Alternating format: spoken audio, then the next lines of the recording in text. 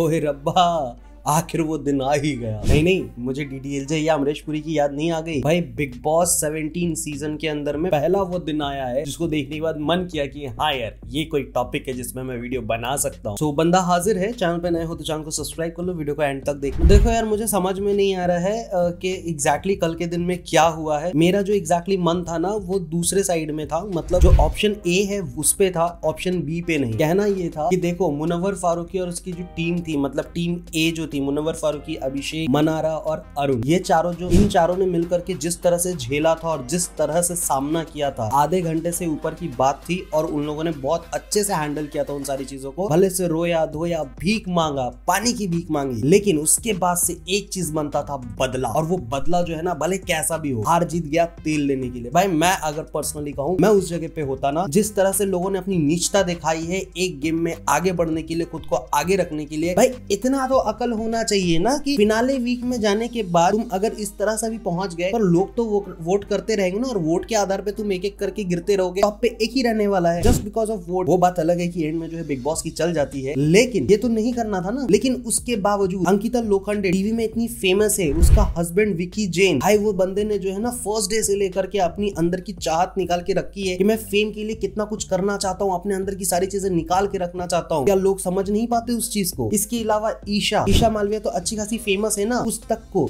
भाई, इतनी क्या पड़ी हुई थी। और आयशा खान, जहाँ तक की बात है, आयशा खान को देखा जाए तो लोग बहुत ज़्यादा सपोर्ट में होंगे जस्ट बिकॉज़ ऑफ़ सही और गलत। ना कि उसके फ़ैन के होने से। मुनवर फारूकी भले से जैसा भी रहा हो, लेकिन उसकी जो चीज़ें सामने आई है, भाई, उसको एज एन आर्टिस्ट लोग बहुत पसंद कर सकते हैं, लेकिन पर्सनल लाइफ में उसकी धज्जियाँ उड़ा दी गई है। तो भाई, ये चारों लोग तो कहीं ना कहीं लोगों के सपोर्ट में रहते हैं ना, लेकिन उसके बावजूद गेम है गेम है बिग बॉस ने बोला है नो चॉइस सॉरी गाइज़ करना पड़ रहा है। ये कह करके भाई, एकदम पेड़ डाला चारों को। तो उसके बाद से जो ऑप्शन दिया गया कि आपके सामने में दो ऑप्शन है। पहला कि वो सारी चीज़ें मैं फिर से रिफिल कर दूँ सारे राशन और आपके सामने जो है गेम दोबारा से ऑन करूँ जिसमें उन लोगों ने कुछ 39 मिनट 51 सेकंड के लिए थे और अगर टीम बी और अगर टीम बी 39 मिनट 52 सेकंड कर गई तो वो सीधा सीधा फिनाले वीक में जाएँगे। उसके ऐसे ऑप्शन टू रखा गया कि आपको जो है डिस्कालीफाई करने का मौका दिया जा रहा है और ये चारों के चारों नॉमिनेट हो जाएँगे और आप चारों सीधे के सीधे भाई चले जाएँगे फिनाले वीक में। तो इस जगह पे मुझे ऐसा लगता है कि नहीं, तुम हार के भी जीतते भाई। मुझे पता है, ये लोग तगड़े हो जाते और विकी जो है कम से कम पहुँच ही जाता ये तीनों निकलते तो निकलते कुछ भी होता, लेकिन तुम्हारी अगर हार होती ना, उस हार के बावजूद भी लोग जो है ना हमारे सल्यूट कर रहे होते भाई कि क्या खेला है। बदला तो बनता था भाई, ऐसे ही खेलना था। क्योंकि दूसरे दिन आने से पहले इन लोगों ने जो जो हरकतें की, कहते ना कि फट के दरवाज़ा हो जाना, वो हो चुका था इन चारों का। तीन लड़कियाँ थी।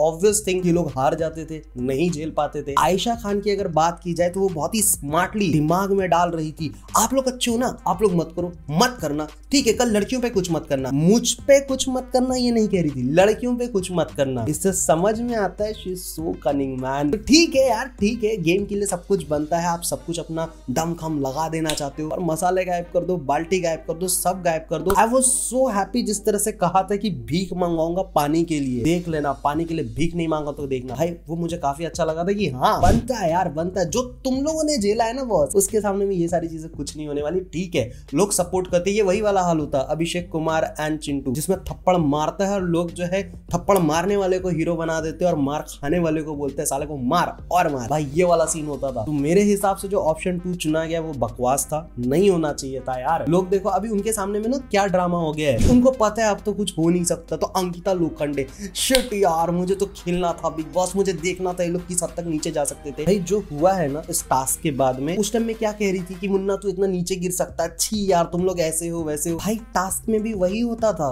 कुछ भी करते, तुम लोगों ने अपनी असलियत दिखा दी। तुम लोग तो बहुत अच्छे थे ना। तुम्हारा चेहरा देखो, ये उतर गया, ये उतर गया। ये ड्रामा क्वीन को जो है ना, भाई, नंगा करना ज़रूरी था, लेकिन नहीं हो पाया ये चीज़। तो मेरे हिसाब से जहाँ तक मुझे लगता है कि ये चारों जो है ना, अभी बहुत स्ट्रांग बन चुके हैं because of public support and Salman Khan को इस चीज़ पे जो है ना कॉल आउट करना चाहिए कि तुम लोगों ने क्या किया है। एक बंदा जो है, रो रहा है, आग बंद करके तुमसे भरोसा करके बीक मांग रहा है कि प्लीज़ पानी दे दे यार, पानी दे दे।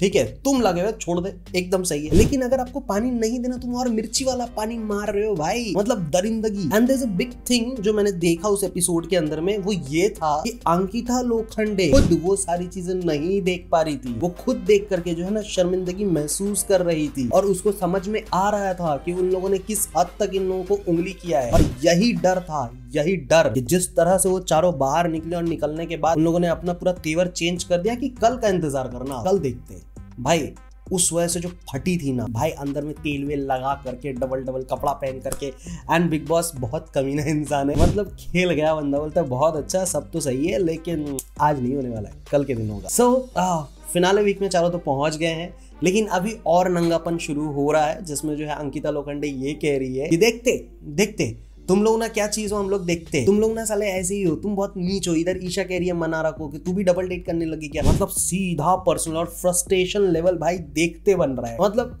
कहते हैं ना कि कभी किसी की दुख को देख करके, कभी किसी की हार को देख करके खुश नहीं होना चाहिए। But these are the people जिसको देख करके बहुत मज़ा आ रहा है। पता नहीं क्यों यार। किसी बिग बॉस सीज़न में ऐसा फील नहीं हुआ, जैसे कि इस टास्क के बाद में हुआ। And that is the reason कि इस फालतू से सीज़न के अंदर में मुझे एक वीडियो बनाने का ढंग का मौका मिला है, जो कि मैं दिल से बिना स्क्रिप्ट के, बिना किसी चीज़ के एकदम डायरेक्टली बोल रहा हूँ। आप बताओ, आप मेरी बातों से एग्री करते हो यानी कमेंट सेक्शन पे ज़रूर लिखना। यहाँ तक वीडियो देखने के लिए तहे दिल से धन्यवाद।